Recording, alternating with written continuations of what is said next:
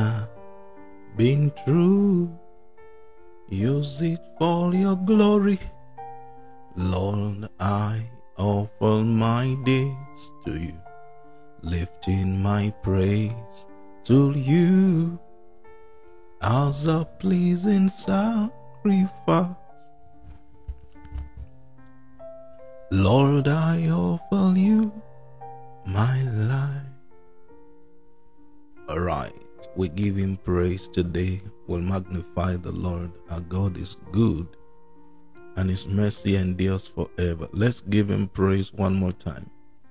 Let's magnify him because he's been faithful. Today is day 28 of the apostolic global teaching. It's been awesome. It's been by the Spirit of the Lord. So we magnify him one more time and we give him all the praise today. Give him praise one more time and lift up your holy hands and praise the Lord. Hallelujah.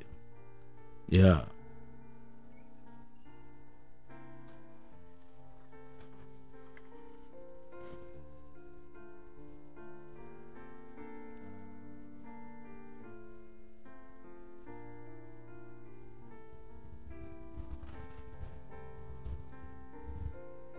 Yeah.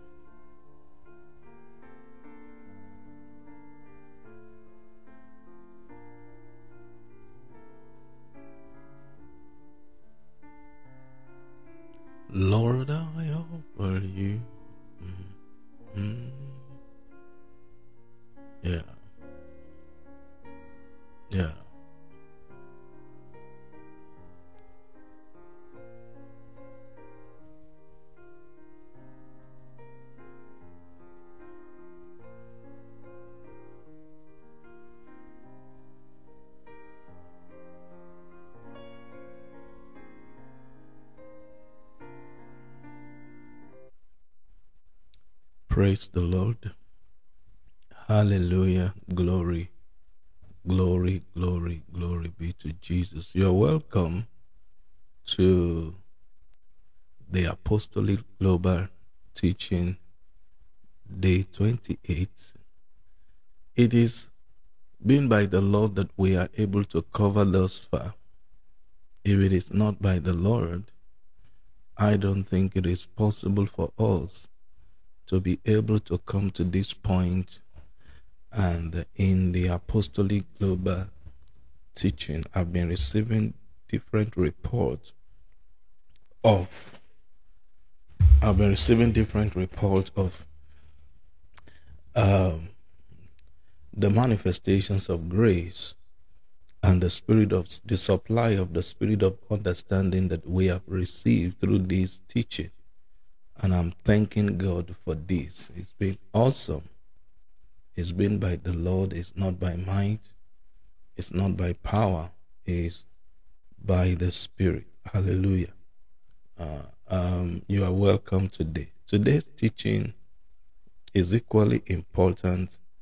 Um, the teaching I did yesterday about the hands of God, I have asked the Lord if He will grant me permission to um, to do an extension.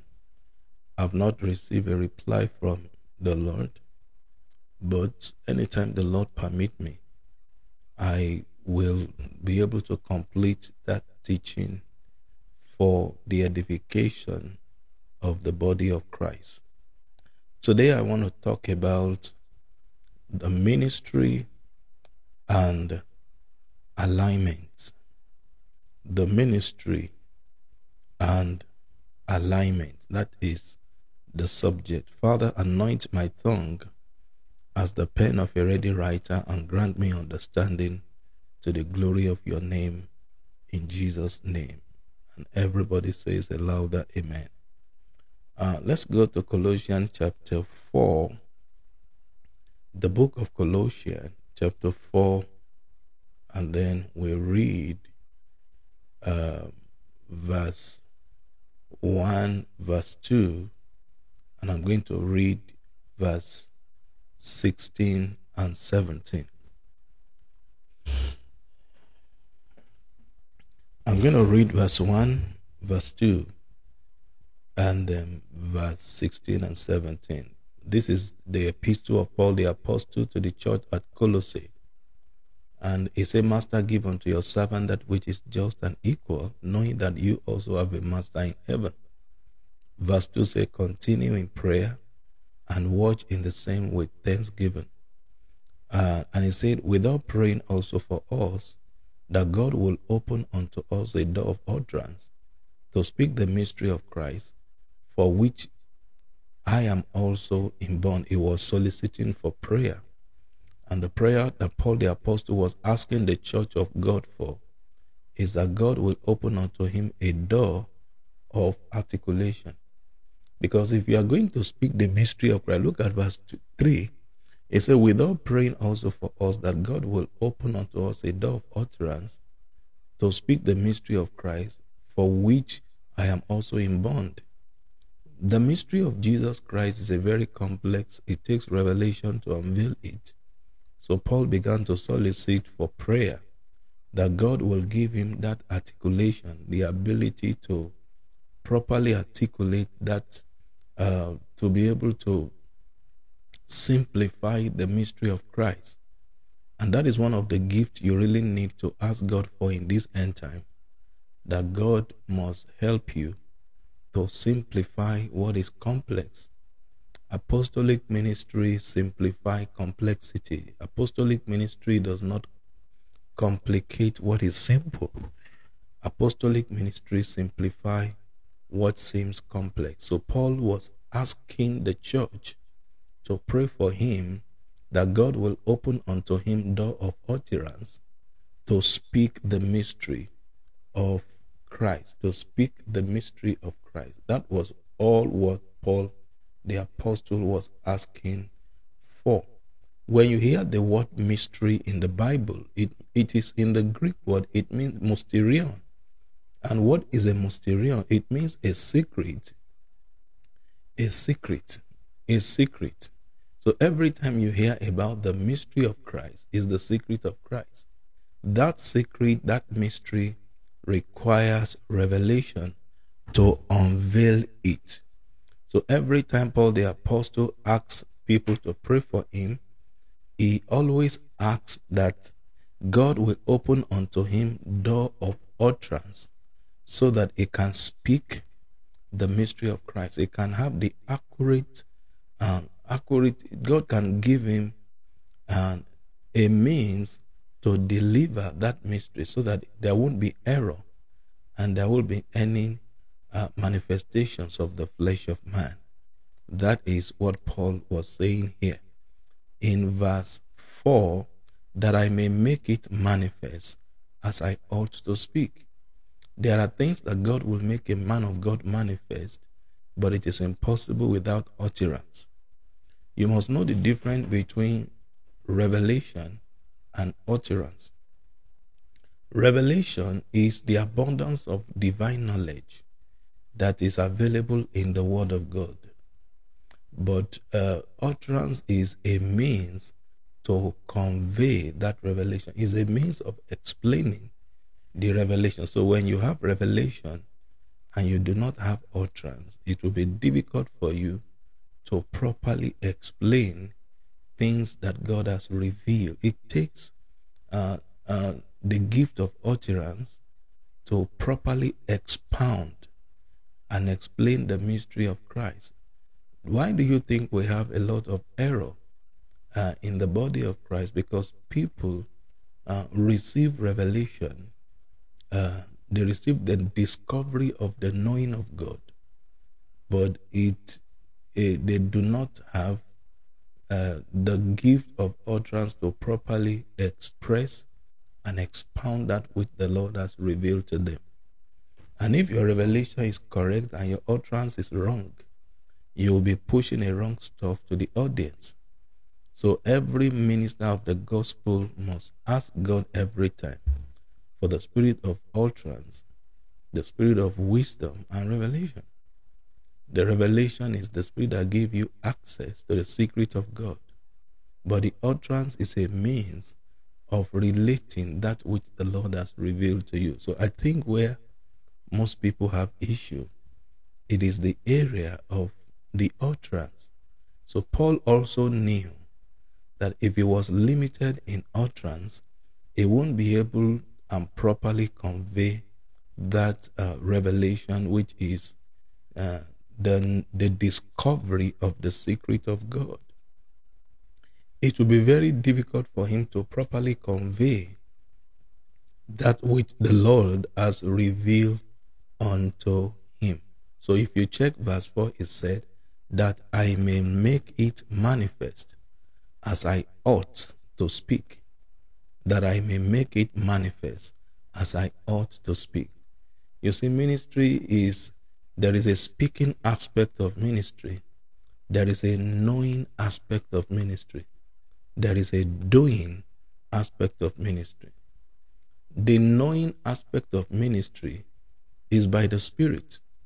For nobody knows what is in the spirit of a man, what is in a man except his spirit. Likewise, nobody knows what is in the heart of God except the Spirit of God. So when you hear what eyes have not seen, what ears have not heard, what has not entered the heart of man, as the Lord prepared for them that loved him, there is something that there is a knowing side, there is a speaking side, and there is a doing side. So Paul the apostle was asking for the prayer of the saints that the door of utterance uh, we open unto him so that he can properly articulate that mystery of Christ which has been given unto him. Paul the apostle said that we are the custodians of the mystery of Christ. That is, the, the secret of Christ, the depth of Christ has been handed over to the apostle. And therefore, the work of Paul the apostle, the proper work of Paul, was not just about raising the dead and casting out the devil. The apostolic work that was given unto Paul the apostle was to reveal the mystery of Christ. That is why at a point in time you will find out that in the early days of Paul the apostle, his ministry was basically in the workings of miracles and then the salvation of souls. Paul the Apostle was an apostolic missionary. He won a lot of souls for Jesus and then he demonstrated supernatural power, healing and healing the sick. But as he began to grow up, when he came to a certain time in his ministry, he came into the full apostolic work, which is unveiling, revealing the mystery of Christ. So the maturity of apostle Paul's ministry was committed more into writing of a epistle, equipping of the saints, and giving instructions, establishing instructions to other churches that were under him. So he was doing an apostolic work, which is the apostolic word is the government in the New Testament. He was planting churches, he was doing missionary work, and he was also writing letters to each of those churches to guide them in their proper way of worship and then revealing the mystery of Christ. This has been the only prayer that Paul the Apostle sought for whenever he wrote a letter to any church. That you keep praying for me that the door of utterance might open so that I can make manifest. That's verse 4. I can make manifest as I ought. In verse 5, is a walk in wisdom toward them that are without, redeeming the time. Let your speech be always with grace, seasoned with salt, that you may know how you ought to answer every man. Now, this is a very important. He said in verse 7 All my state shall teach a Tychicus declare unto you, who is a beloved brother and a faithful minister and fellow servant in the Lord, whom I have sent unto you for the same purpose, that he might know your estate, comfort your heart. With Onesimus, a faithful and beloved brother, who is one of you, they shall make known unto you all things which are done here. Aristarchus, my fellow prisoners, saluted you Marcus, sister son to Barnabas, touching whom you receive commandment, if he come unto you, receive him. In verse 11, it said, And Jesus, which is called Justus, who have circumcision, these only are my fellow worker unto the kingdom of God, which have been a comfort unto me. Verse 12 Epaphras, who is one of you, a servant of Christ, saluted to you, always laboring fervently for you in prayers, that you may stand perfect and complete in all the will of God. So if you check the prayer of Epaphras, the prayer of Epaphras were directed to the body of Christ in the in Colossae, that they may be complete and perfect in all the will of God. They may come into the perfect understanding of everything God has installed for them. He also said in verse 13, For I bear him record that he had a great zeal for you and them that are Laodicea and to them in the Hierapolis. Verse 14 says, Luke, the beloved physician, and Demas greet you. Salute the brethren which are in Laodicea and Nymphas and the church which is in his house. And when this epistle is read, now listen to this.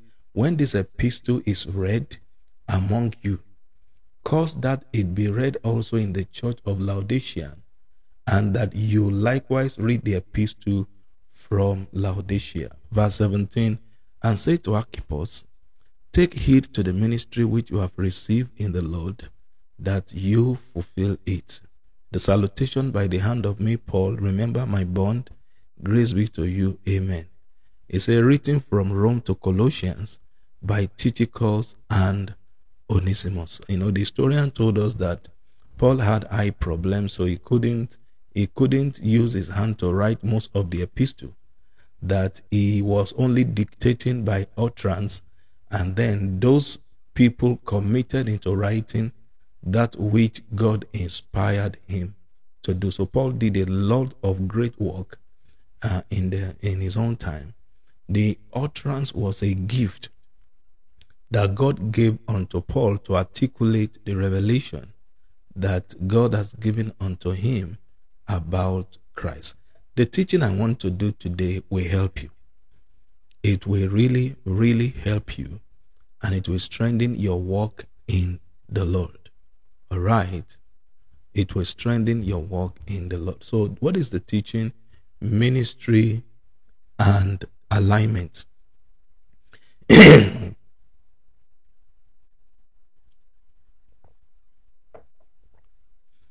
ministry and alignment. Write this statement down, very important.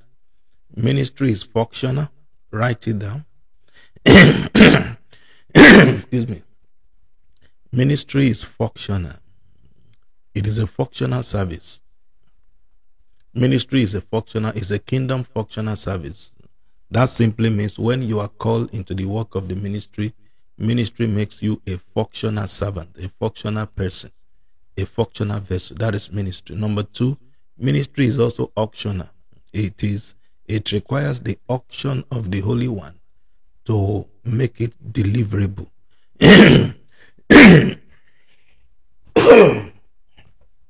ministry is not just functional, it's unctional. It's the deliverable of ministry depends on the measure of the unction available for you. This is very, very important. The measure of the unction you have is the measure of the ministry you can deliver, you can manifest. So, to measure the effectiveness of the ministry, now the measure of the unctions that is in your spirit will also determine the effectiveness of such ministry. Number three, ministry is relational uh, it will bring you into interface with different people and different spheres of life. So ministry is relational. It is not something you do in isolation. It is not something you do alone. It is relational simply means the power of ministry will make you to relate. Either you come into the interface with spirit, with different personality. Ministry is relational. Number four, Ministry is inspirational. It therefore means that as God inspires you, that is the more inspiration of God in your life, the more powerful your ministry will become. If you are not inspired, the ministry will expire. It is a matter of time. So ministry is inspirational. It takes inspiration to run a ministry because there are things you will personally see in your life or things you will see around you that can actually uh, you know, deplete your strength if you are not conscious of what the Lord has revealed unto you. So ministry is inspirational, functional, ministry is unctional, ministry is relational, ministry is inspirational, and ministry is revelational. Ministry is revelational. Now look at what Paul the Apostle said Pray for me that the Lord will grant unto me the door of utterance so that I can speak and I can minister by the divine utterance. There are a lot of things that God will reveal to you. One of the things that keeps your ministry strong, it is the revelation knowledge. The revelation knowledge will keep ministry strong in your hand. Throughout the entire ministry of Paul the Apostle, he was a strong man because God gave him access to the revelation which unveils, uh, bring us understanding of the mystery of Christ. So when people do not minister by revelation, their ministry will begin to die. If you are not ministering by inspiration, your ministry will begin to die. If you do not relate, ministry is relational. If you are not coming into interface with people and then with spirit entity or with men that are carrier of the grace of God, ministry can also die down. So ministry is functional, ministry is unctional, ministry is relational, ministry is inspirational, ministry is revelational. Ministry is the release of God's intention through a called and the anointed man. That is the 16 I am saying about ministry. Ministry is the release of God's intention through a man that is called. Every time God finds a man that is called, God uses that man to administer his intention. God uses a man that is called to administer his intention. When a man of God is called and the call of God upon him is genuine, the force of the administration of that ministry will become so powerful. And that is why when you look, when you go into some ministry, you find depth, not just height.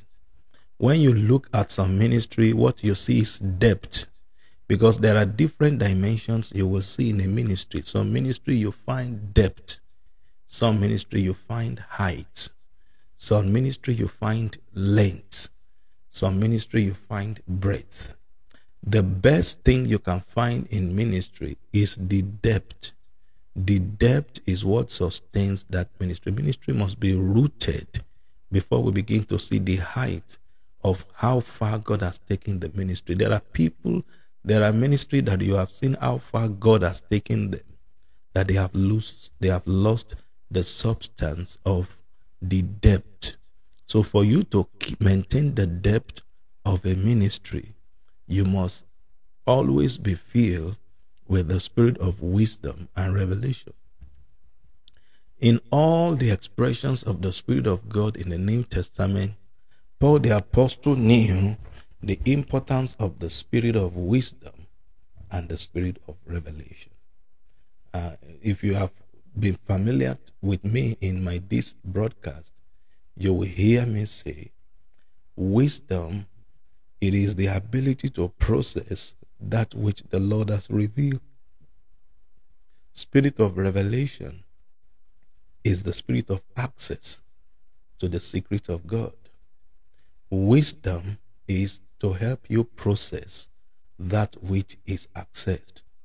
So if you do not have wisdom, you will waste revelation.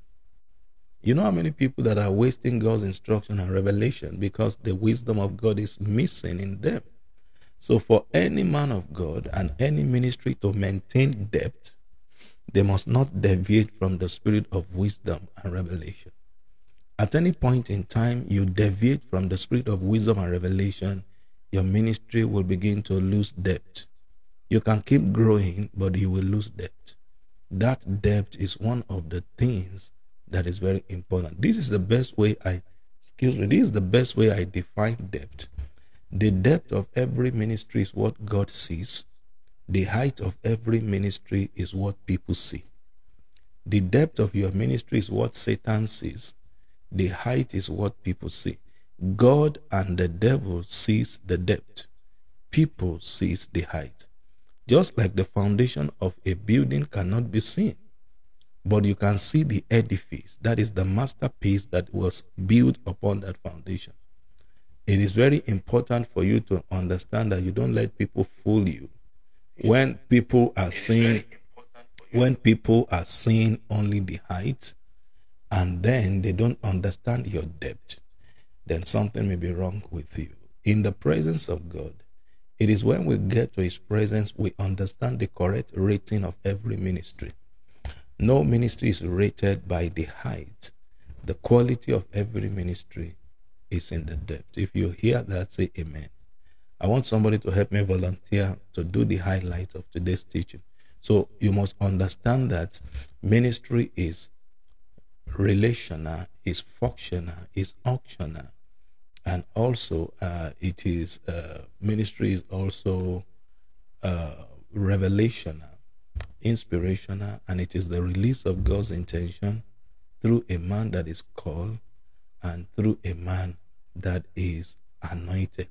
One of the one of the things I want to tell you about ministry today is that it's a service. It is a service. It is a service. It's a kingdom service committed into your hand, which you have to deliver according to the specification and the pattern that God has given unto you. Uh, ministry is a building of lives and destiny.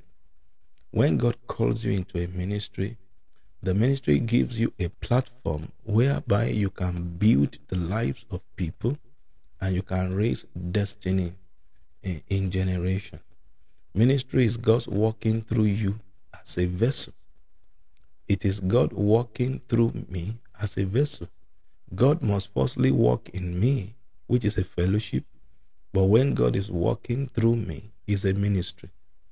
When God is working in me, is a fellowship. But when God is working through me, is a ministry. When Paul the apostle said, I can do all things through Christ that strengthen me, what that explains is that through Christ is the ministry through which Paul the apostle will be strengthened. I can do all things through Christ. It didn't say through Jesus. Christ is the anointed one. So I can do all things through the anointing that is functioning in my spirit. That word Christ is Christo. And what that explains to you is that I can do all things through the available of the anointing that is manifesting in me. So doing something through something is a ministry. That is, the Holy Spirit has a ministry in you through which you can do all things. All things in that scripture is within the context of the will of God for your life. It doesn't mean you can do all things in life. That is not what the Bible says. What the Bible says is that you can do all things within the context of God's choice, God's will, God's instruction for you. You can't do all things outside God's context. Because if you are trying to do all things outside the context of God's will, then you are going to fall or you may uh, you may become a rebel. So ministry is the release of God's intention through a man that is called and a man that is anointed. Okay? Ministry is also a warfare. Ministry is a warfare. If you are still with me, say amen. Ministry is a warfare. That simply means if you are called into ministry, you war with Satan. When you are called into ministry, ministry is going to pull you into certain realms and certain realities that will call for a fight. So Ephesians chapter 6 says, For we wrestle not against flesh and blood, but against principalities and power and the ruler of the darkness of the world, and against spiritual wickedness in high places. So when you are called into ministry, ministry is going to pull you into certain realms and it will pull you into certain realities. So whether you prepare or not, that is not a problem because the war will come. You will have to war against your flesh. Then you will also war against the forces in a territory where you are assigned to minister. You must also understand that where you, God has assigned you to minister, there are historical battle, there are historical battle, and there are battle of culture that has taken over that environment. Warfare simply means if you overcome in warfare, you will become a civilized man of God. But if the warfare overcomes you, you will become a colonized. You will be colonized as a man of God. So the intention of every warfare is to impose a culture upon you that may not be in agreement with your assignment.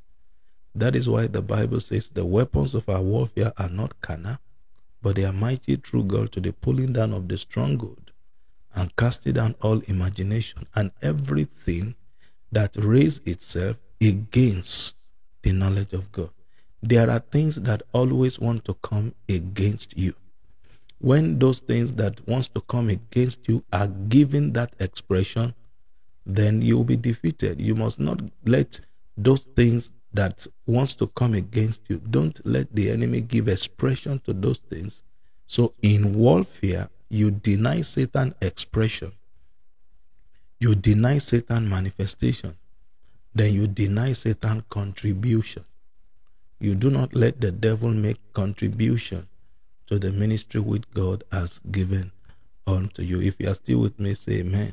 So ministry is a warfare and ministry is rewarding. It's rewarding. Ministry is rewarding. God will always reward you based on the level of your sacrifice and obedience to God's instruction. I used to tell people that ministry is 95% instructional. 95% instructional. At the point where you stop taking instruction, then your ministry start dying. What kills ministry is activities without instruction. What kills ministry is zeal without instructions. When a man doesn't understand the pattern that God wants the ministry to take, he just keep doing everything. But things are not falling into shape because there is a pattern that God wants that ministry to take. And you must understand that. So, ministry is rewarding. Ministry is also using what is available in the kingdom to do the impossible on the earth. Ministry is using what is available in the kingdom to do the impossible on the earth. Every time you hear the word exploit, it means notable achievement. These are the achievements that heavens will notice. Heaven notices that achievement. It's not just the earth that sees the achievement. Anything called exploit. The people that do know their God shall be strong and do exploit. Doing exploit has been misunderstood in our generation. When Stephen was stoned to death, while Stephen began to minister and he was summarizing the book of Genesis till Malachi, the Bible says the people that had it, they couldn't contain it anymore. They pulled him out and they stoned him. While they were stoning him, and Stephen said, Father, forgive them. Don't lay this sin at their church. The Bible says at that point, Stephen said, I saw the Lord. And he stood in heaven on an ovation that is an exploit. Exploit is a notable achievement that is firstly known to the kingdom, is firstly known to God. That exploit is known to God and is approved of God because it is a notable achievement. So, what was the achievement of Stephen then? The achievement of Stephen was while they were stoning him, he cried for forgiveness of their sin. What an exploit! That was an exploit.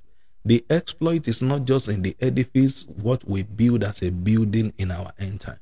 It is an achievement that heaven is aware of, and it also attracts ovation from heaven. But the exploit can't come before knowledge, because those who know their God shall be strong and do. The doing is aftermath. The knowing comes before the doing. So knowing your God then becoming strong, then you can do exploit. If you know God Knowing God will help you to become strong. Becoming strong will help you to do exploit. Exploit is not automatic, it is embedded in knowing God. When you know God, then knowing God will bring strength. It will infuse supernatural strength into your spirit. Knowing God will always give you affirmation. It keeps you going in spite of circumstances and tribulations. So becoming strong simply means becoming steadfast. Then when you are strong, then you can do exploit. Unfortunately, the people that do not know their God, we are demanding strength from them. We want people to be strong. We want our workers to be strong. We want our members to be strong. We want our associates to be strong, but they don't know God. It is those who know their God. And then the result of knowing God is strength. And then when they are strong, then they can do. The doing is the last aspect of it. And that is one of the error in a lot of ministry. The doing is the first thing we, we want people to do, but we don't want them to know. So knowledge comes before exploit. If you want people to do exploit without knowledge, then they will be building a Tower of Babel. The Tower of Babel was a strong ability. But they don't know the consequences of what they were building. So God came down to put a stop to their work. So when you find ministers who doesn't want to know his God, knowing his calling, knowing the pattern of his ministry, that the only thing he wants to do is to do exploit. You see them praying on the mountain. You see them praying on the mountain is nothing wrong. It's okay. Praying on the mountain is okay. Don't get it wrong. But when you go to the mountain and the only thing you want to ask God for is power to do exploit, nobody seeks for power as regard ministry in isolation. If you are seeking power in isolation, you will enter into spiritism and mixedism. It is an abomination to seek for power in isolation. Power doesn't come because you are asking for it. Power comes because you have fulfilled certain condition about the power. Power is the combination of the spirit plus the word. When the word of God marries the spirit, power will be produced. The joining of God's word and spirit will produce authentic power. So you must know the difference between authentic ministry and sophisticated ministry. A sophisticated ministry is known by people, authentic ministry is known both by people and God. The texture of your ministry, the demons can feel it. Why Jesus came, the demons cried without doing deliverance meeting. You will see demons throwing themselves, throwing people on the floor because his ministry was authentic. We don't need any paparazzi to, you know, to package a ministry. An authentic ministry, the devil knows. Jesus knows. Angels knows. And people will also know. He said, Jesus, I know. Paul, I know. Who are thou? So understand this, that the power is a combination of both the word and spirit. The word and spirit, because the word of God and the spirit of. One of let me show you something very clear today. Spirit has peculiar character. Word possesses ability. Word possesses ability. Word possesses ability. Spirit has authority. Spirit has authority the word of God has ability. The authority and the ability has to be combined together and power must be produced. I will also show you one of the examples. While Jesus was on the earth, the Bible says he gave his disciples authority to cast out the devil. But he needed to ask them to wait until the power came. Why did he ask them to wait for power? Because he knew they don't have the power, they only have a right. He gave them authority, which is exousia. He gave them a right. I give you a right to use my name to cast out the devil. But the power has not come. So while he was ascending to heaven, he said they should wait in Jerusalem until they are endued with power. So when the Spirit came, the Spirit brought authority, the Spirit brought power, and then the Word of God in them has produced ability. So when you combine ability and authority, you will always be a man of power. You will always be a man of power. If you are still with me, say a louder amen. Let me say this to you today is very important. Satan hates all ministers of God. And you need to t- tell yourself, Satan hates me. Satan hates me. Write that one down. Plaster, paste it at one corner of your house. Satan hates me. If you are a man of God, I'm not just saying a child of God. If you are a man of God, he hates all the children of God, but he has a special hatred for man of God. Satan hates me. He hates all ministers of God and is going to do all things, all things, all things to stop you. Satan will always be in war with you and everything you represent for the kingdom of God on the earth. Satan will always be in conflict with you and everything you represent for God on the earth. and therefore, he will bring attack to your house. He will bring attack to your home. It will bring attack to your ministry. It will bring attack to your mind. It will bring attack to your tongue. It will bring attack to your perception. Satan will bring attack to everything about you. So you must know God loves you. That is not the only truth that is available. Satan hates you because you are the emissary of God's reality.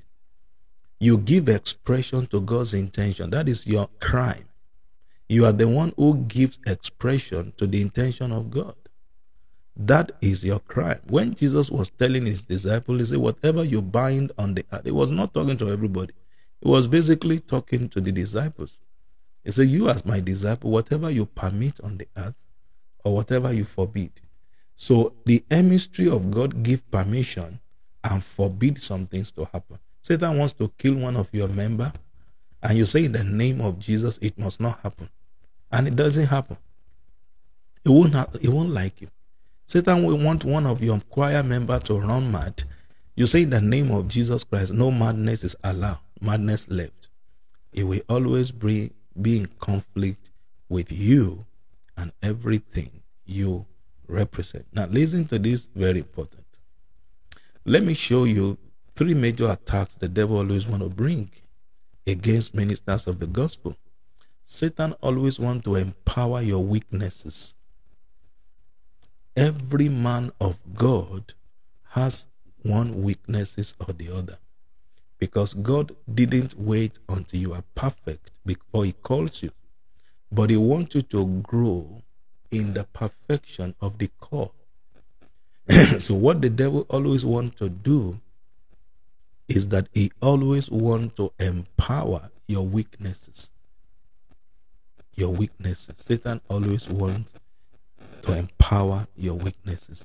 Don't forget Romans chapter 8. The Spirit in us making a witness that we're a child of God. And the Bible also says something very powerful. It says, For my strength is made perfect in your weakness. And then the Spirit helpeth my infirmity. The infirmity in the Greek word, it is not sickness. It is spiritual shortcomings. The Bible said the spirit of a man will sustain his infirmity. That simply means your spirit can sustain infirmity, simply means it can deny infirmity and expression. There are things in your life that it must die within the thought level. it must not be given a word. and it must not be given an action there are dealings of Satan in your life that in the thought form it has to die. It must die unborn. Because the help of the Spirit will help you to hold that infirmity. It will deny that infirmity expression of manifesting in your world. W O R I L D. There is your word, aeon, your word. You have your own word your space of manifestation, your platform, the platform, your life that materializes things. You must understand. So Satan always wants to empower your weaknesses. That's the first thing he want to do. Then he wants to use people you have raised to hurt you.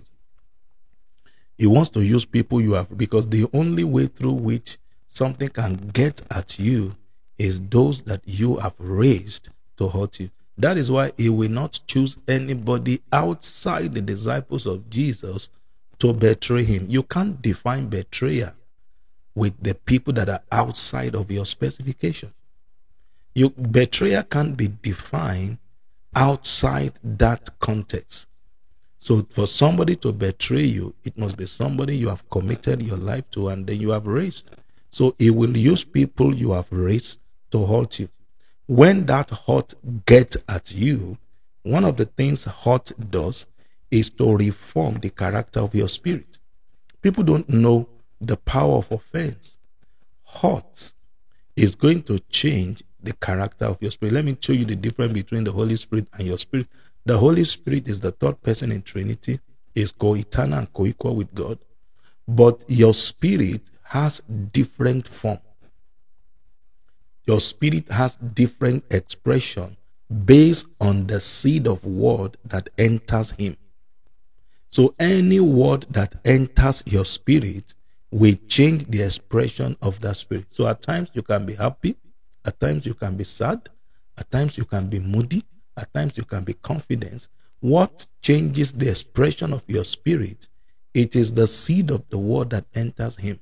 So when a word enters your spirit, it forces an expression into your spirit to manifest.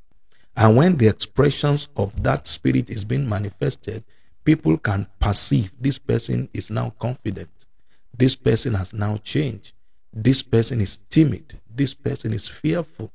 This person loves God. This person is hypocrite. Check the entire Bible. The Bible talks about haughty spirit. The Bible talks about tale bearing spirit. It is, you don't have two spirits. You have one spirit with diverse expressions. So for the devil to change the expression of your spirit, he must bring a word into your spirit to change that expression. So when the devil brought Judas to give Jesus a kiss to reveal him, something entered Peter. He cut off the right ear of the sons of the high priest. And you know what Peter did in that place? If you go and check the book of Leviticus, part of the requirement for the sons of the high priest was that their right ear must also be anointed. They, there must be a drop of blood of the goat and the lamb that must touch the right ear. So instead of the blood to cleanse the hearing, Peter cut off the right ear. Jesus understood because Jesus, whatever Jesus did as at that time, was still within the power of the law. So he had to pick up the right ear and plaster it back. It was a serious violation in the Levitical priesthood and order. But Jesus has to rescue Peter so that it will not be a victim of law. It will not be a captive of uh, uh, of the law. This is very important. So Satan wants to empower your weakness. Number two, he wants to use people you have raised to hurt you. Then number three, he wants to build barrier around the breaking forth of the ministry work in your hands. All forms of the attacks of the enemy is summarized in those three ways. He wants to empower, he wants to magnify your weaknesses. he wanted to commit fornication and the following day the anointing is still moving. He wants to put you in a position what we call I call false hope. Uh, this thing doesn't affect. See, it happened two days ago. In fact, that was when the anointing becomes so stronger. He just want to keep you within the boundary of false hope to empower your weaknesses. Then he want to use people you have raised to hurt you. Then he wants to stop the expansion of what you are doing for the Lord. If you understand that, so you must get rid of bitterness and envy, and you must be very careful. Let me go back to my teaching because uh, I'm still talking about ministry and alignment. I have not talked about alignment. I'm just explaining ministry uh, in the context of today's teaching. Now, now listen to this very important, very, very, very important. I told you that ministry will expose you to spirit forces, territorial powers, and the ministry will expose you to principality in personality. Ministry will expose you to principality in personality. There are personality that they are doing the bidding of principality. So ministry will bring you into different interface in the spirit. If you are not strong, then the character of the spirit you meet in the realm can be imposed upon you like inspiration. Many people do not know that every time you are thinking, you are interacting with spirit entity because there is no thought that is natural. Every thought has an embodiment of spirit in supply. So by the time you are interacting in thought, you have a fellowship with spirit. The Holy Ghost also presents himself to you in a thought form. He suggests some things. He wants that thought to look like your own thoughts because that is the best way you can accept that thought as of the spirit. The same thing the devil also wants to do. The devil also wants to fellowship with your thinking to change your perspective. It is a thought that changes perspective. So you must understand that ministry will expose you to spirit forces. There will be different ideology. There will be different perspective. You must put every perspective and ideology under the scrutiny of God's word. That is why that you must everything that raises itself against the knowledge of God. The knowledge of God, whatever you do within the knowledge of God, you are safe. If you preach within the knowledge of God, if you pray within the knowledge of God, if you cast out the devil within the knowledge of God, if you have spiritual experiences within the knowledge of God, you are safe. Anything that is against it, there is nothing that is above the knowledge of God, but there are things that are against the knowledge of God. Don't don't don't get don't mix the two. There are things, nothing is higher than the knowledge of God in the spirit. But many things are against the knowledge of God in the spirit. The knowledge of God is the highest knowledge. It is called revelational knowledge. Revelation knowledge is the highest knowledge available in God that can give you access to the mystery of God. But there are other forms of knowledge that against it. So when you are doing ministry work, you come into interaction with different form of knowledge that is different from revelation knowledge. As long as you keep yourself within the boundary of God's word, your practice of Christianity will be safe. But if you do not stay within the boundary of the word of God, you can hijack another form of knowledge to do ministry. That is why when you see some people, the knowledge through which they do ministry is questionable because it's not the knowledge of God. It is other forms of knowledge, either knowledge of slavery or forceful knowledge or you know witchcraft knowledge. Knowledge is involved in ministry. In fact, it's the power of the ministry. But it depends on the knowledge that is available. Now, so it is important for everyone that has a ministry to develop the spirit of prayer. There are many times I prepare a sermon, especially when I used to prepare a sermon on a note, that I will tear it. The very superb message, but when I critically check it, there was a mixed up in my thought. There was a mix up in the delivery of that inspiration. There is a spirit in a man. It is the inspiration of God that gives your spirit understanding. Your spirit has no understanding. So, what gives your spirit understanding is God's breath. That is what we call Ruach in Hebrew, Ruach HaKodesh. So, what supplies understanding to your spirit is God's breath. The God's breath is inspiration. Once inspiration is not delivering the message, you will enter into another dimension. It can be brilliantly okay, it can be very smart and brilliant, but it is not God's message. That is why I tell people this day you must separate voice from message.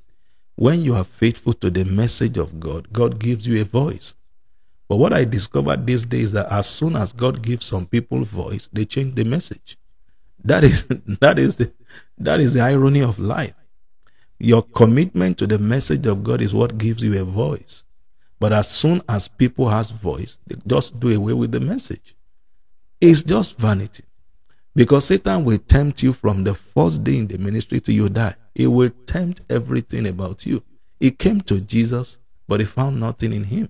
He searched, he was given a search warrant to examine Christ. In typology, we call that the high priest will have to examine the, the lamb that will be sacrificed as atonement of sin.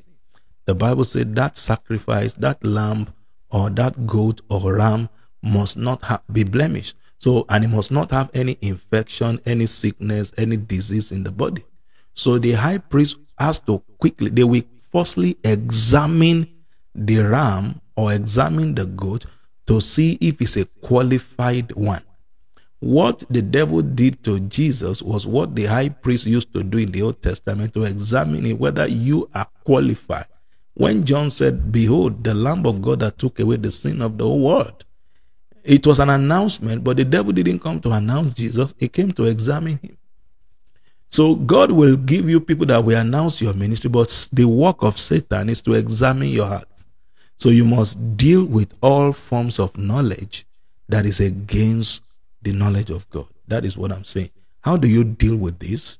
You do this by praying, by prayer. You do this by prayer. And uh, when I was doing this study this morning, the Spirit of God said, There are seven areas in your life you should pray daily as a ministers of God. And this is going to help you. Now, if you have a pen, I want to write it down. Very important. It's going to really help your walk with God. There are seven areas of your life that you have to commit prayer into those areas. The first area you have to pray every day is the release of God's love into your heart. Is the release of Father, let your love increase in my spirit. Let your love abound in me. Don't let the enemy steal the seed of love because the love of God is shed abroad in our heart by the Holy Spirit. The Holy Spirit always come to manifest, to make manifest the love that has been shed in our hearts. When you are born again, you have the love of God, you have the life of God, but you must seek for the light of God. Because the light can't automatically come without searching. The entrance of God's word will give you light. You have the life of God when you are born again and the love of God, but you don't have the light. You have to seek for the light. You must seek the word of God. The amount of light in your spirit depends the level of the testimony you will command. The victory of God is limitless, but your testimony is limited. And what commands your testimony? The testimony is the measure of the victory you manifest per time. That depends on the light. If you are still with me, say amen. So the first aspect of prayer you need to pray, let there be a release of God's love in my heart. You must protect your heart. You need love. You need love. Somebody define compassion as love plus passion. You must love people passionately, genuinely. This is missing in a lot of ministry. There is no genuineness. The genuineness is not strong there is no real many ministers don't really love the work. They just love the reward the work offers. Many people don't really love god's work. They just love what the work offers them. When you see people that labor in word and prayer and when you see people who are really laboring in the ministry if you see them you may not recognize them. It's a serious labor. Many people are famous, but they are not laborer. They are famous, but they are not laborer. They are not. They don't do a due diligence work anymore. They've been cut up from the spirit of labor. So the release of God's love must be rooted in your heart. Number two is that the daily supply of the spirit of wisdom and revelation. Every minister must give himself to that prayer. That Ephesians chapter 1 from verse 16 to 18. When I heard of your faith and of your love for the things of the Spirit, I began to pray ceaselessly that the Father of our Lord Jesus Christ will grant unto you the spirit of wisdom and revelation in the knowledge of Christ, the eyes of your understanding. What does that mean? Your spirit has eyes. The eyes of your spirit produces understanding. God must give you sight in the spirit. There are two things that exist in the realm of God sight and might, the spirit of sight and the spirit of might. The angels that surrounded the throne of God, they, they have eyes both within and without. The horn, the Lamb of God was described in Revelation that he has seven horns which are full of eyes. it talks about the lamb having eyes and horns. The horns is a symbol of strength. The eyes is a symbol of revelation. So in the realm of God, might and sight exist. God gives you power and he gives you revelation. And he gives you revelation. So you need to pray daily for the supply of the spirit of wisdom and revelation. Revelation access, wisdom process, the development of that which you have accessed in the spirit, the wisdom of God must take over. There are different dimensions to God's wisdom, but one of the greatest dimensions of God's wisdom is called Sophia. That is having insight into the reality of God. May the Lord give your eyes, may the Lord open your eyes and give you wisdom in the name of Jesus Christ. Are you still with me? Amen. All right. So you have the daily supply of the spirit of wisdom. This is going to guide your prayer life. It is not every time you are just asking God for rice and beans and then asking God for drum set and podium. These, those things are good. But I am telling you, when you enter into the realms of God, you will know that there are some things that are symbol, they are not substance. All right. The f- third thing you must also ask God in your daily prayer is that you must ask God that you must have authority and power over every work of darkness. And God must teach you how to use that authority. I used to pray that prayer a lot. Lord, teach me how to use that authority and power. Having authority and power is not enough. God must teach you how to use the wisdom, the authority, and power. How to use the authority and power. God, if you want to multiply in power, uh, there was a time I was in Akure to hold a meeting and then praying for somebody on the crutches and then started walking and there was a shout and I heard the voice of God. Go get into your car and drive off. Never look back. I said, why? So I told some of the my sons with me, I said, let's enter this car, drive me out of this environment. And then when I got home, after about three hours, uh, God said, I don't want that miracle to end other miracle I want to do through you.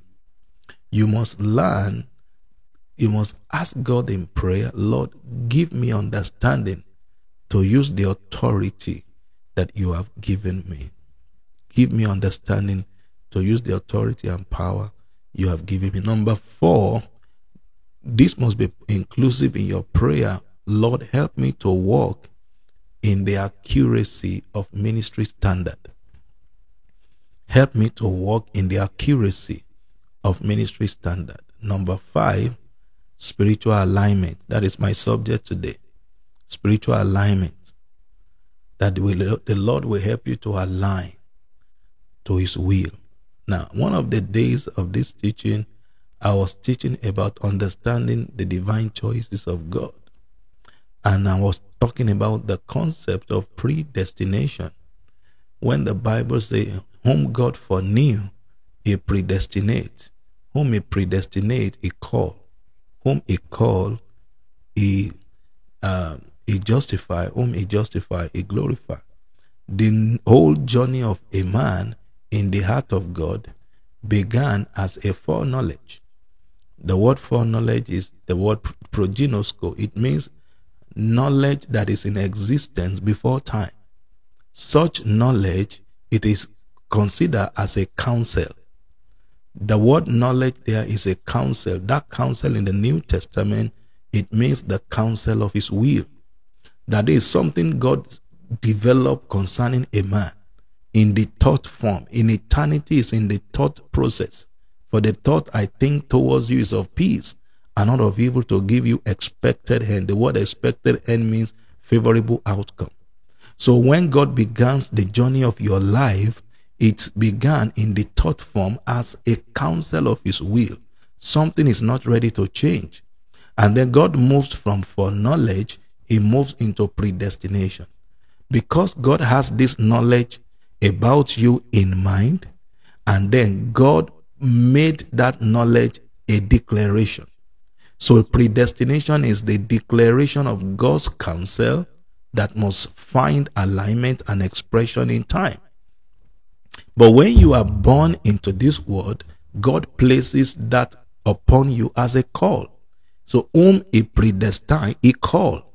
Why is the call? The call of God will condition you to function in a specific but dynamic way. That is what the call of God means. It is the condition God puts your life through which you function in its unique and dynamic way. So it becomes a call that is the realm of awareness. Then, whom he call, he has to take you through justification. You will go through a lot of trial for God to be able to bring you out and prove that I'm the one that called you. So things is not going to be rosy in the beginning. It will look so rough. You will come to the point that Jesus came and said, If it is your will, let this cup depart from me. Let this cup be removed from you. You will ask, so, you will ask yourself some question. Am, am I called? Is it God? Can this be God? If it is God, look at the way my life is going. Hey, am I sure this is God? If you have never come to that point, you have not come to the authentication of the call. But the one he call, he justify. Then the one he justify, he glorify. The word glorification is that he magnify, he exalts you before people. He brings you to the place of honor. Those who were against you before and say, brother, what you are doing is, is insane. What you are doing is stupid. This is not a good idea. They all came back and said, we are sorry. Ah, thank God because of your life. They begin to thank God for you. So if you are going to go through that chain of process, it all began in the womb of God. Then it must manifest in time. So you need to really pray that God must help you to walk in the accuracy of ministry standard and then number six is spiritual alignment.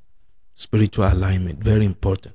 The seventh one is that God must give you door of utterance. Door of utterance. How many of you are still with me? Door of utterance. If you are still with me, say, Reverend, I'm still with you. Door of utterance. We where utterance and revelation are not the same.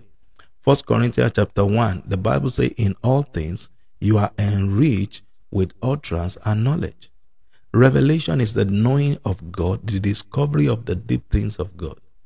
But you need utterance to properly articulate that which has been revealed. Because it is in the place of articulation that you are actually making a deposit into people's life. So we have some of our people, our ministers of the gospel who are with God. They know God. They serve God, but they can't pass the baton across to another person because they do not have articulation. They don't know how to properly present that message in such a way that it will not harm people. For example, if you check the, the life of Elijah versus Elijah, everything Elisha knew was that the Bible says for 20 years Elisha was pouring water into the hands of Elijah. So when Elijah was about to go, he said, Ask me whatever you need before I be taken away from you. He said, I need a double portion of your spirit. Nobody taught him that. It, it was just the Holy Spirit who put such utterance in his mouth. So what that means is that when you put utterance, and when God put utterance in your mouth, it will perfectly describe the intention of God. It will perfectly communicate the, the intention of God. So Paul the apostle always asked for the spirit of uh, for the door of because utterance is actually a door in the spirit. When God give you door of utterance, your word will permeate into spirit of people. Your word will access a stubborn heart and it will break it. Because every heart also has gates. There are some hearts that have ancient doors. No minister has ever penetrated there, but for the first time you are preaching, somebody is broken, Somebody is crushed. Somebody in, begin to change because the door of utterance will have access to the door of their heart. Heart has a door, mouth has a door. But when God opens the door of utterance, you will be firing bullets into the life of your audience. So you must ask, excuse me, you must ask God for ah the door of utterance. The door of utterance.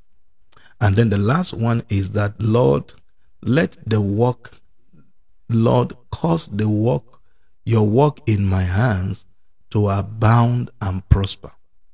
It must be your daily prayer. Don't ever assume that you don't need prayer. You will never get to any point in ministry where you wouldn't need such prayer. You will never get to it, no matter the size, no matter the height, no matter the length and breadth. You will never get to the point in the ministry that you will not ask God to make the work of the ministry in your hand to prosper. Because the prosperity has no limit. If you understand that, say louder amen. All right, let's go to this point. Oh, my time is fast spent, and I have not spoken about alignment. Now, the seven expressions of a New Testament ministry. The Bible says we should rightly divide the word of truth. Uh, as a teacher of the Bible and as a scholar who has gone into different research as regard the word of God, I have always found out that truth, truth is dispensational in manifestation. Truth is dispensational. Truth is also generational. But the dispensational aspect of truth is more powerful than the generational aspect of truth. That simply means in the Old Testament, the atonement of sin was by the blood of animals. In the New Testament, the cleansing of sin, the forgiveness of sin, is by the blood of Jesus. Two things, one thing is common God forgives sin. In the Old Testament, in the New Testament, God forgives sin.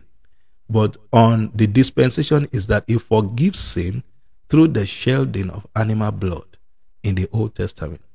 In the New Testament, He forgives sin through the blood of Jesus.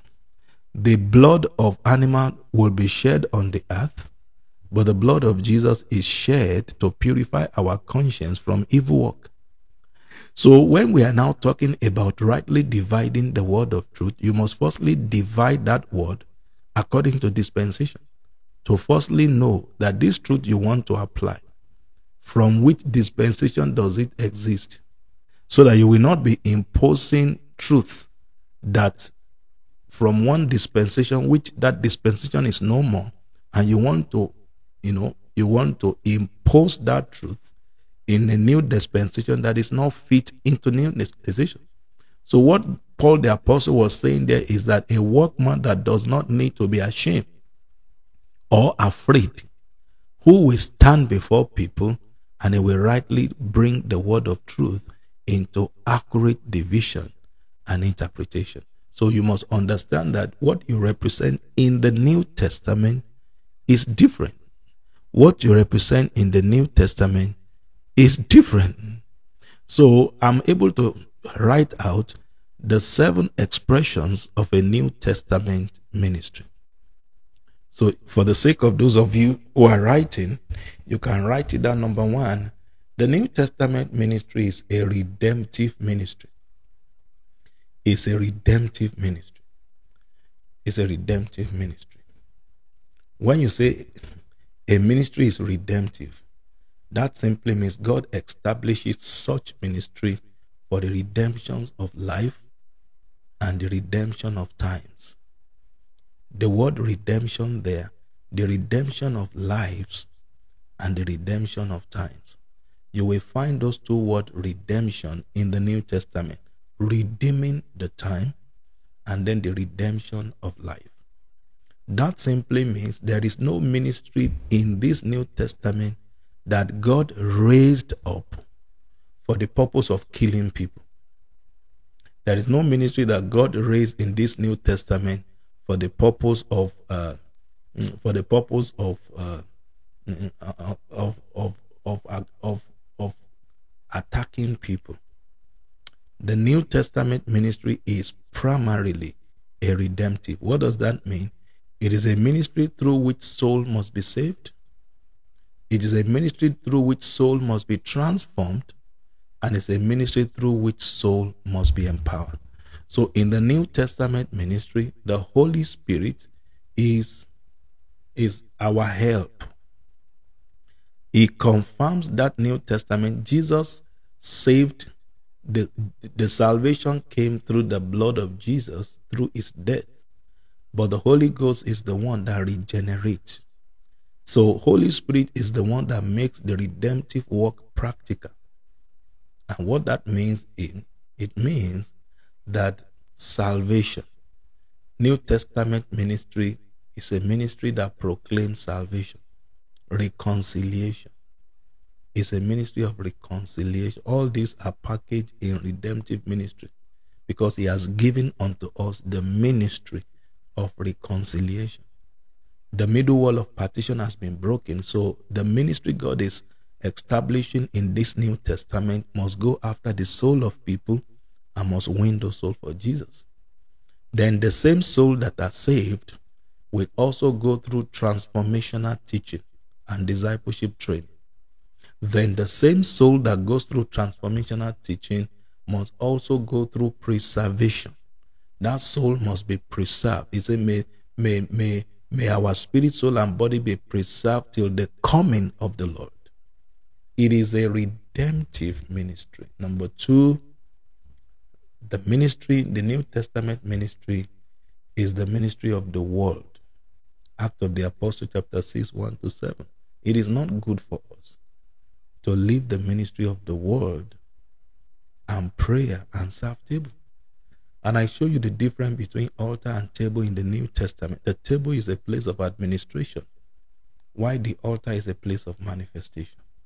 So to descend so low and take over the table is abomination in the law of the New Testament.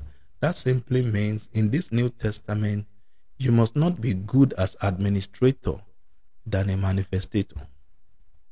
You must be good in manifesting the reality of God than administering food and then uh, physical things. A lot of people don't understand that if you have a ministry that is feeding people, it will soon have height. If you have a ministry that is feeding people with the word of God, it will have depth. So the physical need that is meeting the need of people can sponsor a ministry, can you know, can trip a ministry, can hype a ministry. Whereas the ministry of the word and prayer is what causes a ministry to be deep. And people don't want a deep ministry, they want height. Apostolic ministry is deep. It's a depth. Apostolic ministry is a depth. Apostolic ministry is a depth. The third expression of the New Testament ministry is a ministry of prayer. Colossians chapter 4 be instant in prayer. Pray without ceasing. Prayer. Prayer. Prayer. And when I'm talking about prayer, I'm not talking about shakabula prayer. I'm talking about the prayer of the there is a dimension of the word of God that is prayer. When you take the word and you turn it into prayer, it is part of the New Testament ministry. Number four, it is a ministry that equip men for the work of the ministry. Ephesians chapter 4, 11 to 12. It is a ministry. The New Testament ministry equips men. It is not a one man show. It is not Isaiah, Jeremiah, Hosea time. it's not an Isaiah that will prophesy from Isaiah chapter 1 to chapter 60. This is not the testament. This testament is a testament that within Isaiah chapter 1 to chapter 60, there are other voice of people that will be inclusive that you have built up. So don't let the devil uh, treat your ministry in isolation because you have to defeat the spirit of isolation by all means. By all means, because once the devil isolates your ministry, it will kill the potency of that ministry at the younger age. So you must not let the devil isolate the ministry. Number five, the New Testament ministry is a ministry of warfare. Warfare. Ephesians 6 10 to 18. And then number six, the New Testament ministry is a sending ministry. Act of the Apostle 13 1 to 4. And while we wait before the Lord and fasted, the Holy Ghost said, Separate me, Paul and Barnabas, for the work which I've called them. The apostolic ministry is a sending ministry. Any church that is apostolic, to release people for ministry becomes very easy for them. But if there is a lot of grip and fight before somebody can be called out to start, that church is not apostolic in nature. Apostolic ministry is a sending ministry. It is going to send people into missionary fields, send people into to pioneer some new work because it's apostolic. And then number seven, the New Testament ministry is a supernatural result oriented ministry. Signs, wonders must also be there. Hallelujah. Now, listen to what I want to say here.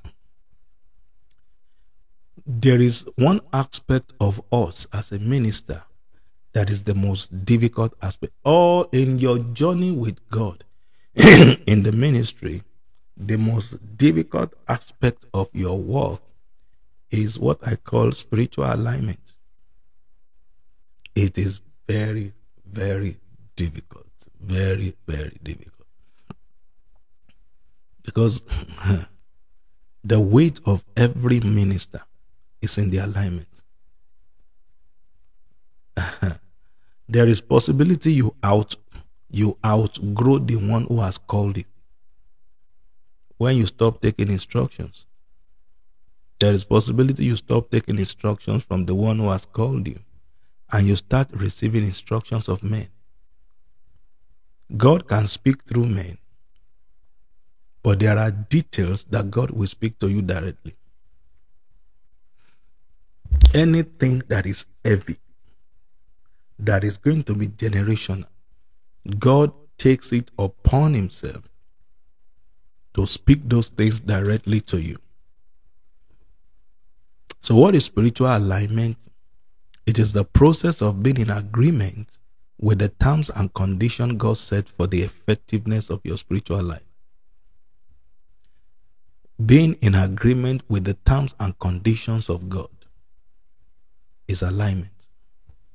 Being in agreement with the terms and conditions of God. God always have terms and conditions when it comes to ministry. And God always have terms and conditions when it comes to ministry. And I can tell you with all seriousness, only few, few, very few believers and especially ministers take alignment very serious. If you have a car and the, and the alignment is bad, it will affect your driving condition. And then if you leave the steering for a while, because of a bad alignment, your car will be twisted in a wrong direction.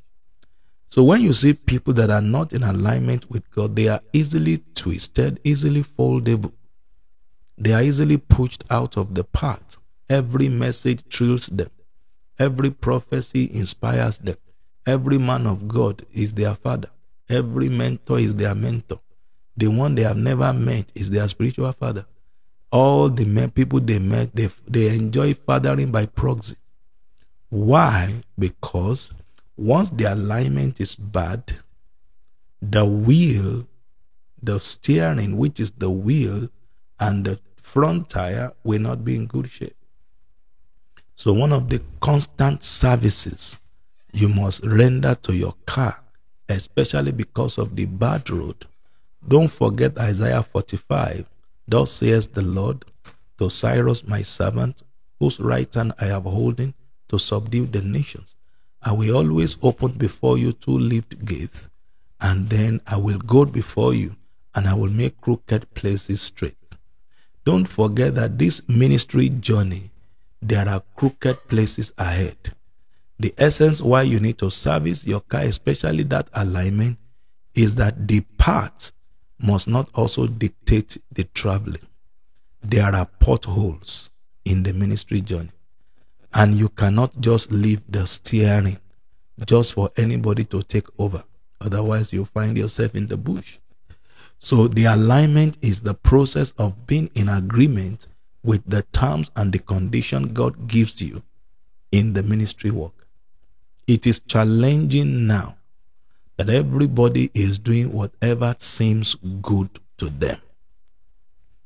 Whatever seems right, whatever seems current, people are following the spirit that trend. The spirit that trend is a spirit that bends. I am telling you, the spirit that trends is a spirit that bends. If you follow what is trending, you will bend, unfortunately. It doesn't take long. So, what is the terms and condition God gives you while you are undergoing, while you are, you know, when you when you undertake the assignment, you have to check from time to time because God update instructions. God update instruction. One of the quality of God's instruction, let's check the update of what God is saying. Balaam lost the power of alignment with God to the point that to the point that God wanted to speak with him urgently. He couldn't find anybody because he was the highest representative of God on the earth. So God has to speak through the close uh, staff, happens to be a donkey. God spoke to him through what is riding. Do you know God can speak to you through what you are riding? Whatever you are riding, God can give you a message through what you are riding. God can speak to you through what you are riding. That simply means God can speak to you through whom you exercise lordship over. Anyone you are riding, you are superior to the person, but God can use them to speak to you. He used a little girl to speak to Naaman to get healed. So when you see somebody who is completely out of alignment with God, they hardly hear the voice of God. They hardly hear the voice of God in their spirit, and they hardly hear the voice of God from other people. That was why Saul went to seek for guidance from the witch at Endor. God has stopped talking. He couldn't access the voice of God again. So you need to really, really pray. It's the most difficult aspect of your life and ministry as, as, as a minister to come into alignment with God, to come into agreement, for you and God to come into agreement, for you to submit to the dealings of God, for you to endure the process of God. Ah, is highly challenging. Why is it challenging? Because that is the only thing that can make you. What is that? When we talk about the alignment, you see, God has a choice that He has cast on you. So the process of agreeing with the choice of God is what we call alignment. Because God will keep speaking. It takes a serious prayer to come into alignment with God. Somebody say, Reference, why? Because your flesh has a voice. Your flesh has a voice. Your flesh has a mandate. Then your flesh has a power. The power of your flesh is its lust, the lustfulness. L U S T. Lust living under satanic tussle. That's lust. It is only when you come into alignment with God that can bring you what we call divine satisfaction. Psalm 90, verse 14 Oh, satisfy us early with your mercy that we may rejoice all our days. Make us glad according to the numbers of days wherein you have afflicted us and our eyes have seen evil. So understand this very important. Now, in spiritual alignment, spiritual alignment will keep you within the boundary of your calling and ministry. There is no devil that can kill any man of God if he does not successfully pull you out of your ministry and assignment. Because if the devil pulls you out of your assignment, there is no authority that backs you outside your calling. Outside your calling. If you are walking within the arrangement of hell, the power of death is going to hold you captive immediately. So if the devil is going to attack any man of God, he must firstly seduce him and pull him out of the the boundary, the jurisdiction of his own calling and ministry. For example, now if God does not give you a ministry to go to the hotel and be preaching to prostitute, if you step into that ministry in a week, you are going to fornicate because there is no covering for you in that level you are going.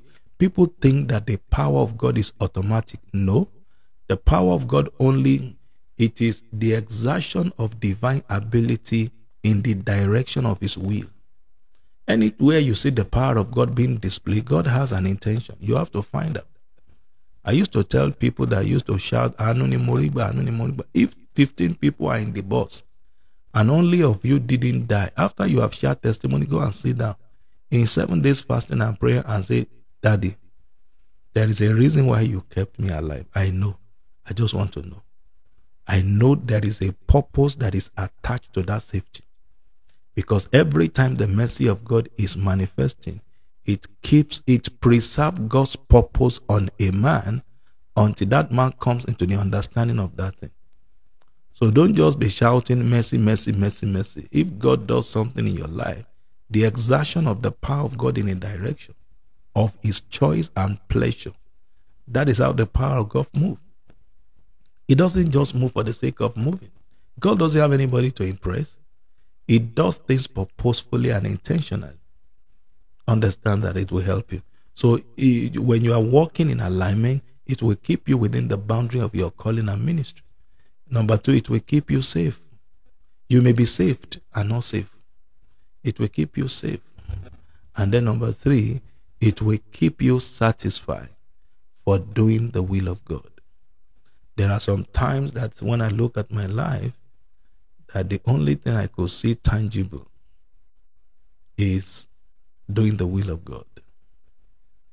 And then I just look at it and said, okay, is this only thing I can see for now? Yeah.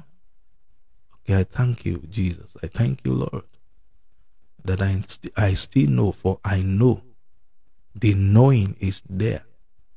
It will keep you satisfied for doing the will of God.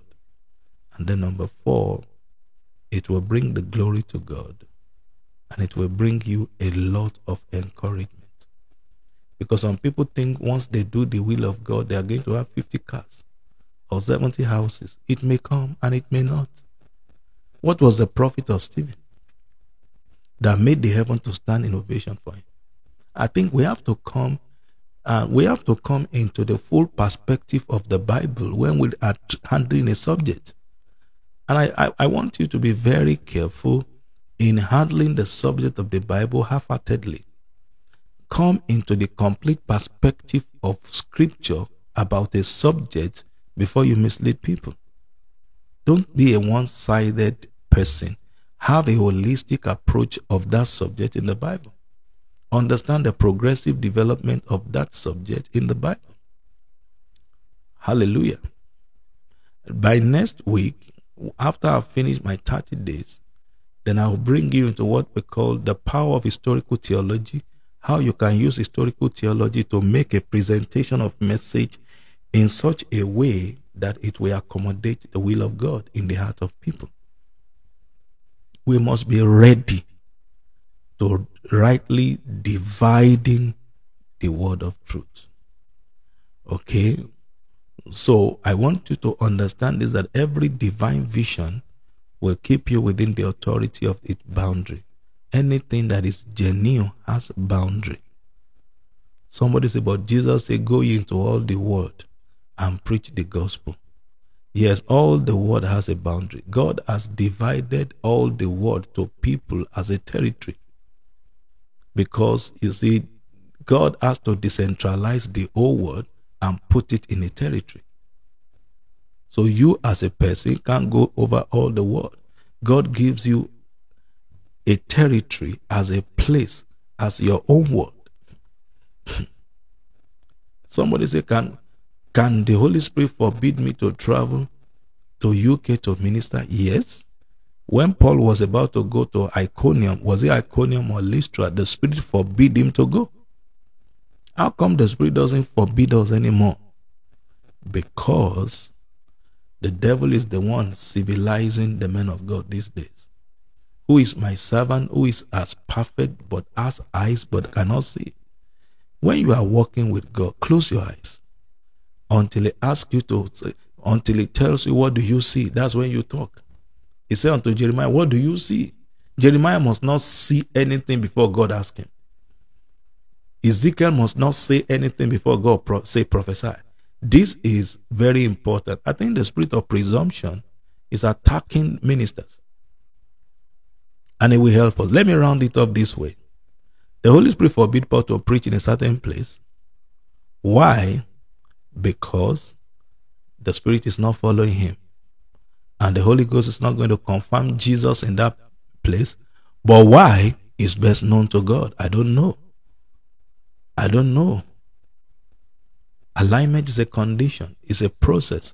It is hard, but it's rewarding. It is following after God in a hard way. David said it this way My soul followeth hard after you.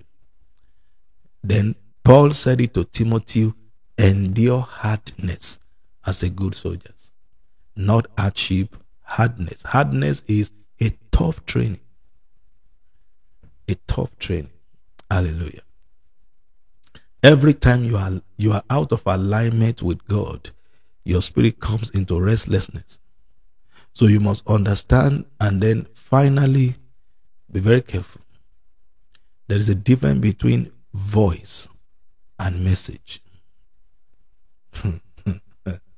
if you have five minutes or three minutes to do any, and I want to encourage you, if you are doing any video content on Facebook, if it is two minutes or three minutes or four minutes, there is something that you must be able to do.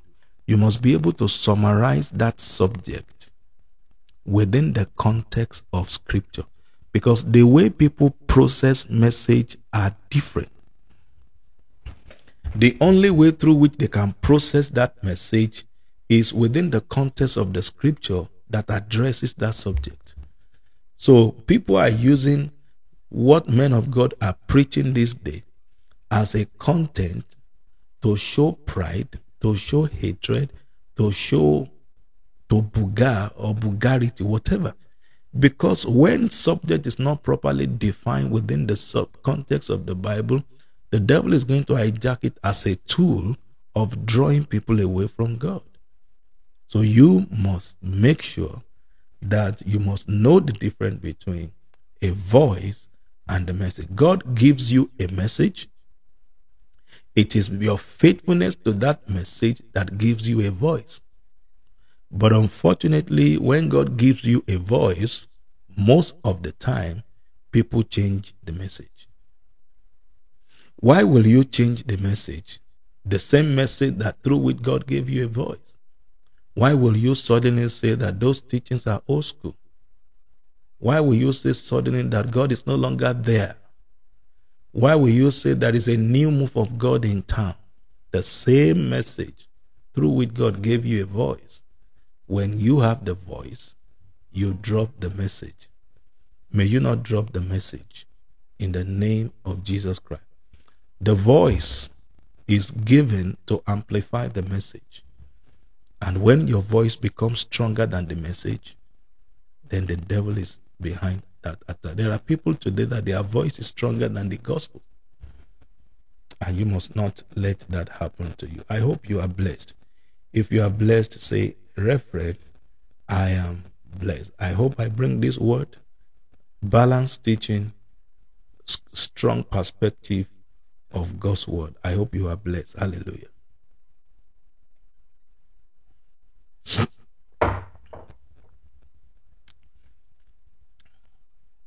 Okay, let me receive your message in the comment section and say, Doctor, I'm blessed. I'm blessed. I'm blessed. I'm blessed. I'm blessed. I will be using uh, the uh, from next week by God's grace. I need a comment if you are if you are following me. I just want to find out if you still follow me, and then you drop a comment of encouragement and acknowledgement. That's it. All right. Shijo Alex said, Reverend, I'm blessed. Thank you, sir. Thank you for dropping such a comment. You actually minister to me back. That is one of the way through which you water back. All right. Ayodeji B. Ayodeji said, Yes, I'm blessed. Thank you, sir. Okay. Uh, so very important. Okay. Uh, Pastor Caleb said, I'm so blessed always. Okay. Thank you. Uh, when I finish this 30 days global teaching, you know that I won't be on a regular teaching on the on the Facebook again, except the Lord says something. All right, Tavis also say I'm blessed. Okay, now I will be bringing what I call theological subject, especially if you are called in the ministry, helping you to properly articulate um, how how do you prepare uh, how do you prepare a subject that you want to teach. How do you properly prepare a subject by the help of the Holy Spirit? You know, people don't know the commitment of the Holy Spirit to the Word of God. And they, they, they, they, they don't know that the Holy Spirit is not the truth. The Holy Spirit is the Spirit that unveils the truth. So you must go into the Bible, study the Bible, read the Bible, then the Holy Ghost is committed to that truth and expound it in your life. So if you are not studying Bible, you may not have much from the Holy Spirit to manifest, except you are demonstrating power. I told you that in the realm of God there is might and there is sight. God must give you eyes of understanding and it must give you power or might. And in fact, the word might means the extent to which God demonstrates his power. That is might. Power is a force, but might is the extent, the intensity of the demonstration of power is might. So put on the whole armor of God that you may be able to withstand against all the wiles of the devil. You understand what I'm saying? Uh, be, be strong in the Lord and in the power of his might. So the, the, the, the, the, the might is the extent to which the power is illustrated. All right. God bless you. All right. I'll be coming your way tomorrow, day, I think day 28 now, if I'm not mistaken. I'll be coming your way tomorrow for day 28, uh, bringing uh, another solid word of the Lord. Just keep praying for us that the Lord will open door of utterance and will open door of nations to us so that we can be committed more unto the word and the will of God. So today is day 28. Tomorrow is day 29. I have two meetings tomorrow. I'll be preaching in a conference online uh, for a minister conference going on in Abeokuta 7 a.m. I'll be ministering tomorrow on the operation the the operation uh, the the workings of his power. The workings of his power. That will be 1 p.m nigerian time 7 a.m ontario time so for those people that are in toronto and its environs it will be 7 a.m for those of you watching from nigeria it will be 1 p.m just join me then when i finish that then Ontario time, I'll be coming again by 2 p.m. to do apostolic global teaching, and then that will be around 8 p.m. in Nigeria. The word of God abounds. One of the things God spoke to me of recent is that it will cause this teaching to go global. He said, Don't just worry, don't be agitated, just put this message on Facebook. And if you have not joined me on YouTube. Go and do it on time. Because a time is going to come when all my messages will no longer be available on the Facebook. You won't see a single video, that all the video will be redirected to YouTube. But before that time, I'm giving privilege for people to subscribe and then go to YouTube. You get all the teachings there. We have over 250 videos on YouTube. It is time we make the word of God go global. So I want to thank all of you who have been with me from the first day of this meeting till now. Uh, Pastor Caleb has been uh, with me on this meeting, celebrate you. And there are other people that I do not know, but they join us and then they are also feeding from the revelation of this scripture. Father, thank you for the word that you have given unto us. I pray that beyond the language through which I've communicated your word, that you will drive this word deeper into their spirit and cause them to abound in understanding. In Jesus' name, amen. The last day of this meeting, I'm going to call for an offering. I'm going to call for a ministry support, which is the last day. That is going to be the 30th day of this meeting. And that will be Sunday. And I want to encourage you to join me and then whatever God lays in your mind, you can also give to support us for what we are doing. Um, God told me to go to four nations this year. How possible that will be depends on his ability and supply to go to Mexico, South Africa, UK, and US, and then to take the word of God to those places. And then I will need support. I am just telling you whatever God has blessed you with. If you feel led or you feel concerned, just go ahead and do something for the Lord, and the Lord bless you. Amen and amen. We are going to have another wonderful time in God's presence next uh, tomorrow, and the Lord will bless you and strengthen you in Jesus' name. Just enjoy yourself with this background music as I will be signing out for today. God bless you.